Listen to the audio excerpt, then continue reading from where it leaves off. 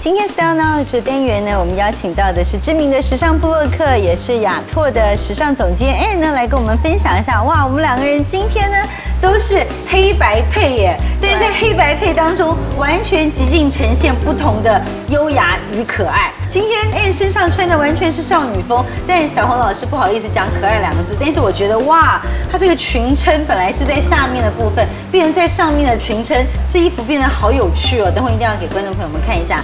今天呢，除了这个漂亮的服装之外呢，N 也特别带来给我们看到一些不一样的饰品，来为各位介绍一下。这个饰品也是你自己非常喜欢的，对不对？对啊，他是一个瑞典的设计师，他有在瑞典得到 L 的年度饰品设计师的头衔，对大奖。他都运用了珍珠烟晶及大理石的部分，嗯，表达人跟自然的一个连接。那你自己为什么特别喜欢它的一些设计呢？因为像我现在看到它是大理石，但它看起来有点像玉石。的感觉很典雅又很有味道，对不对？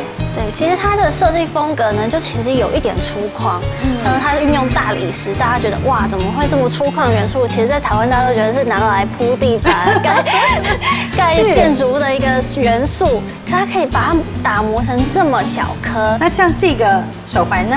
像这手环，它其实因为设计师本身他是念医学系的。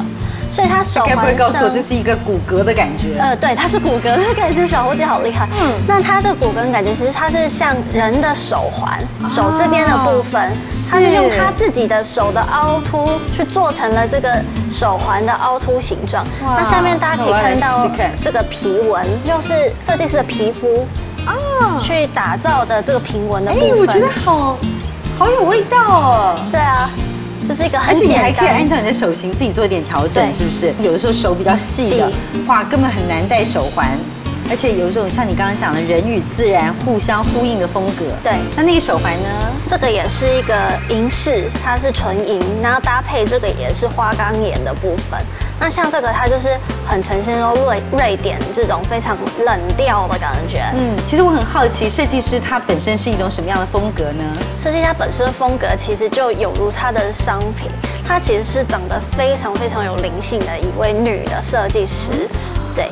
那他其实本身也是因为学医的关系，所以他对人体的各个构造非常的了解。哇，学医来做设计，对，嗯，所以他就是设计的商品，其实跟人跟自然都有完全不可逆的一个分割性。带上它饰品的设计呢，然后我们再来介绍一下今天我们两个人身上的穿着。我们今天两个身上的穿着其实是一个意大利双人组的设计师，是。那他其实在米兰时尚周已经非常有知名度了。意大利的设计大家看到就比较奔放一点点。